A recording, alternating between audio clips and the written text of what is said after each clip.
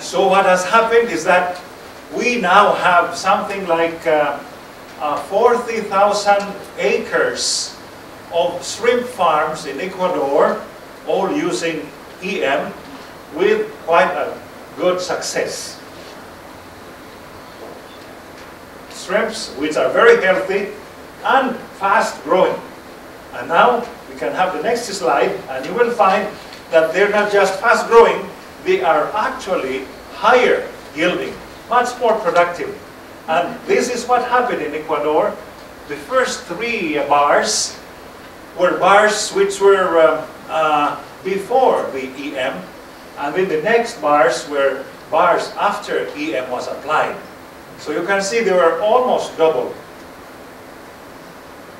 And then it's been applied in Colombia and in Ecuador also to manage municipal garbage and farm wastes and all for soil amendments.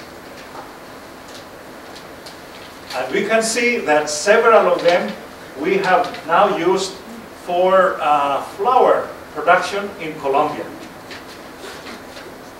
This is, these are uh, flower wastes. You can have the next one. And you can see these are carnations. So the carnations look healthier, and now you can really have carnations which you can smell without having to worry that you're smelling some, some uh, pesticides. This is something that is interesting because uh, there is a river in Bogota, which is Tofuerito, and um, it is near a military base, and the military had problems with foul odor. There is also a small community, and the small community complained to the military. So the military did something.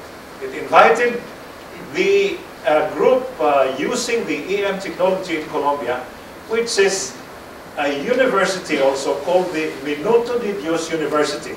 It's a university uh, sponsored by the Catholic Church and uh, it is using the EM technology and did work on this river. In two months, the foul odor was gone as well. Another story about foul odors. Next one. And uh, you can see how the water started. And then the next one you will see where uh, the treatments were done. And you will find that uh, the EM was being activated. That's the term.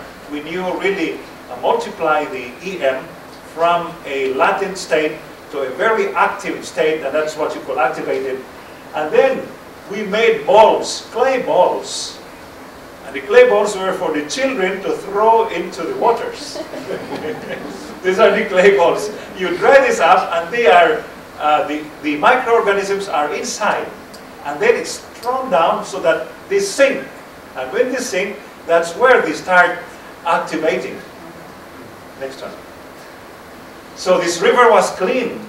And uh, so the military had good publicity because that was, it's a big problem for the military. If the military is not able to do that, then what else in Colombia will, will come about? The FARC will come in.